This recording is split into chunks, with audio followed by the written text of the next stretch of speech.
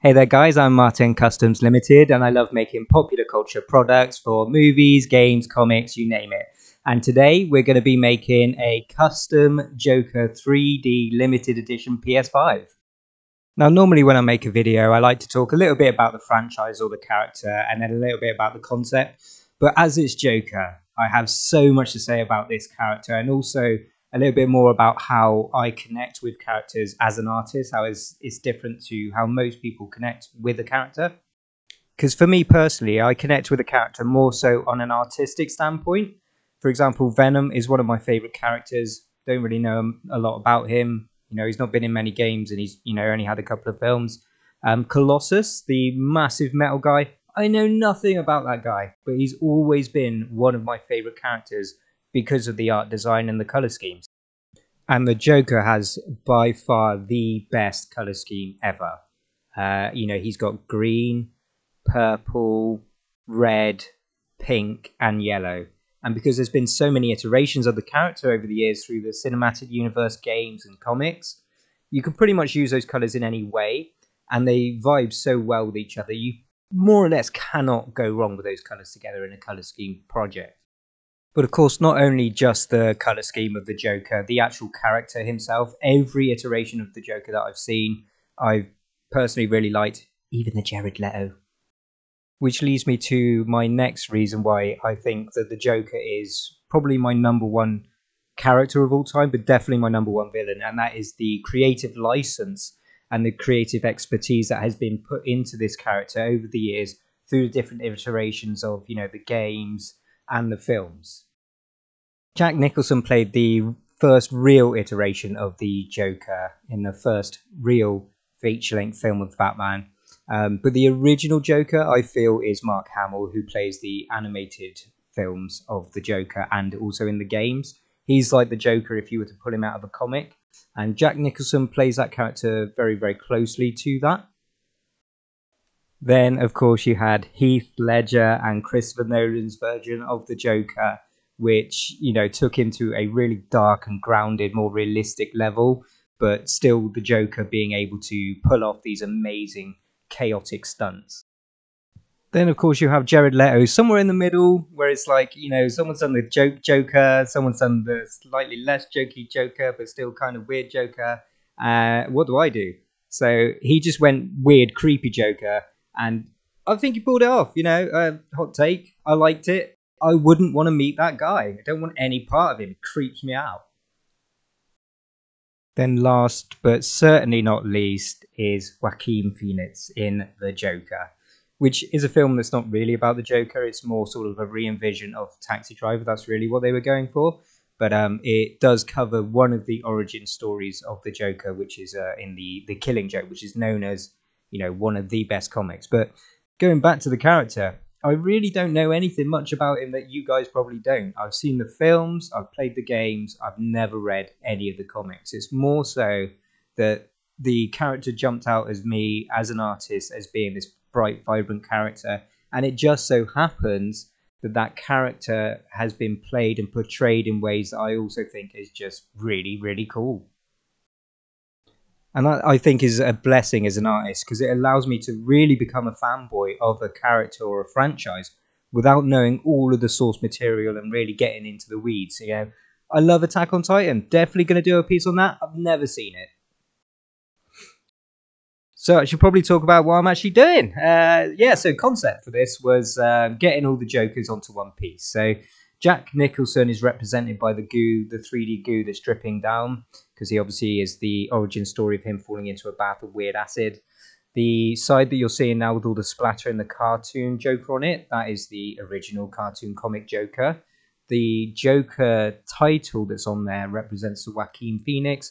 The ha ha ha is the Heath Ledgers, and the purple pearlescent and green pearlescent fade is Jared Leto.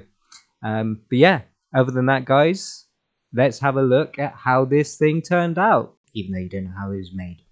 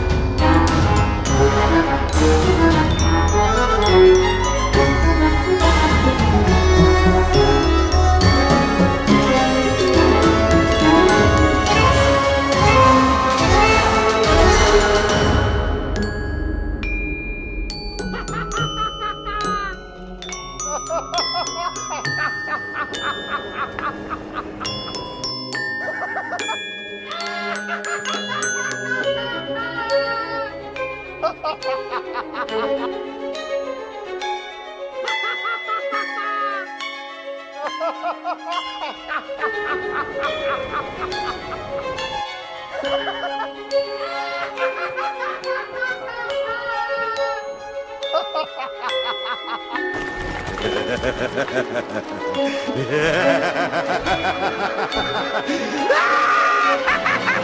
ha!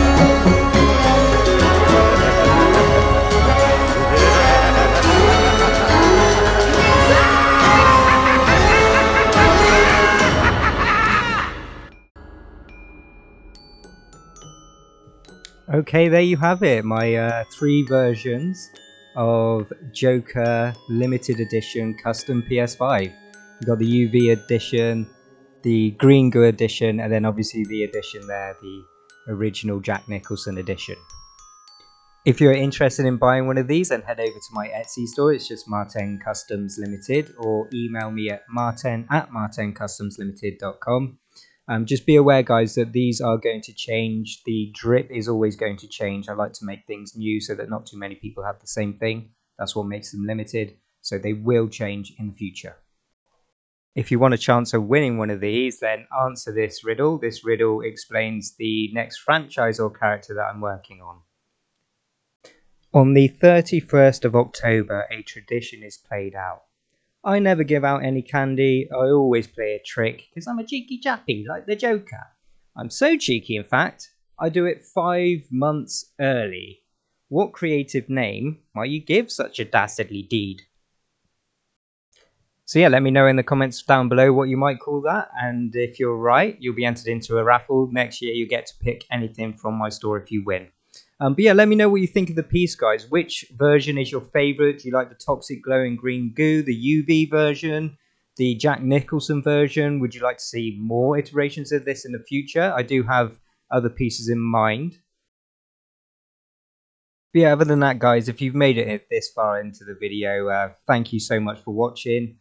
Um, YouTuber stuff. Let's see what does it say here. So make sure there is a call to action, like subscribe call to action? Call to action for the Joker? That would be an incite to riot. Who in their right mind would do that?